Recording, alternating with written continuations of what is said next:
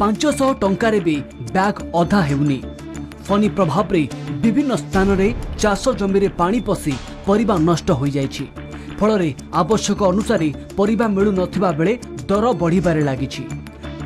ଦୁଇ ସପ୍ତାହ ଭିତରେ ପ୍ରାୟ ଦୁଇ ଗୁଣା ବଢ଼ିଲାଣି ପରିବା ଦର। କଟକ ଓ ଭୁବନେଶ୍ୱର ସମେତ ଉପକୂଳ ଓଡ଼ିଶାର ବିଭିନ୍ନ ବଜାରରେ ପରିବା ଦର ଆକାଶ ଛୁଆଁ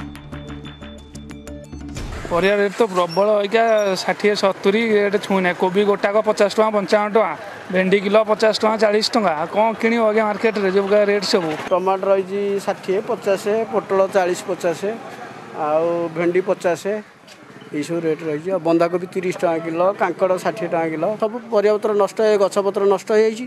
ଗଛପତ୍ର ନଷ୍ଟ ଆଦା ଯେଉଁଠି ପାଞ୍ଚ କୁଇଣ୍ଟାଲ ଆସୁଥିଲା ସେଠି ପଚାଶ କିଲୋ ଆସିଲେ। ରେଟ୍ ହେବ ଆପଣଙ୍କ ଭିତରେ ଭାଗ ଭାଗ ହେବ ଆଉ କ'ଣ? ସେହିପରି ଫନି ପରେ ବଜାରରେ ଚିକେନର ମୂଲ୍ୟ କିଲୋ ପିଛା ଦୁଇଶହ ଚାଳିଶରୁ ଦୁଇଶହ ପଚାଶ ଟଙ୍କାରେ ପହଞ୍ଚିଛି। ବିଶେଷ କରି ପିପିଲି ନିମାପଡ଼ା ସହିତ ପୁରୀ ଜିଲ୍ଲାର ବିଭିନ୍ନ ଅଞ୍ଚଳରେ ଏହା ବହୁ ମାତ୍ରାରେ ପ୍ରଭାବିତ ହୋଇଛି। ଅନେକ କୁକୁଡ଼ା ଚିଆଁ ମରିଯାଇଛନ୍ତି। ବର୍ତ୍ତମାନ କଟକ ଓ ଜଗତସିଂହପୁରରୁ ଏହି କୁକୁଡ଼ା ଆସୁଥିଲେ ବି ବଜାର ପାଇଁ ଯଥେଷ୍ଟ ହେଉନାହିଁ। ତେଣୁ ଦର ବଢ଼ି ଚାଲିଛି। ଫନି ପୂର୍ବରୁ ଥିଲା ଦୁଇଶହ କୋଡ଼ିଏ ଟଙ୍କା।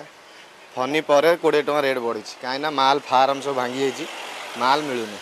ମାଲ ନ ମିଳେ ଆମକୁ ରେଟ୍ ଅଧିକାରେ କିଣା ହେଉଛି ଅଧିକାରେ ବିକୁଛୁ। ପୁରୀ ପିପିଲି ପୁରୀରୁ ଅଧିକା ଆସେ ମାଲ। ଏଇଠି ଆମର ଲୋକାଲ ଫାର୍ମରୁ ଅଧିକା ମାଲ ଭୁବନେଶ୍ୱରକୁ କଣ୍ଟ୍ରୋଲ କରେ।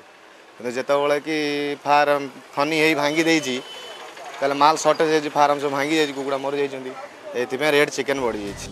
ଭୁବନେଶ୍ୱର ଭିଡିଓଗ୍ରାଫର ପ୍ରଦୀପ ସାହୁଙ୍କ ସହିତ ସ୍ମରଜିତ ଆର୍ଯ୍ୟ ଓ ଚିନ୍ମୟ ପଟ୍ଟନାୟକଙ୍କ ରିପୋର୍ଟ କଳିଙ୍ଗ ଟିଭି